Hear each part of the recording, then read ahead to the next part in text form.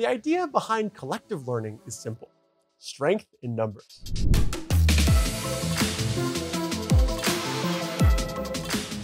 Collective learning is a technique used to understand language by analyzing commonalities in a large dataset. By pooling anonymized data from various sources and normalizing it, machine learning models can identify linguistic patterns and make connections between seemingly unique utterances.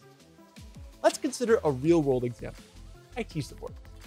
Large service desks are flooded with hundreds of issues a day, and because no two issues have exactly the same wording, service desks must manually resolve each one.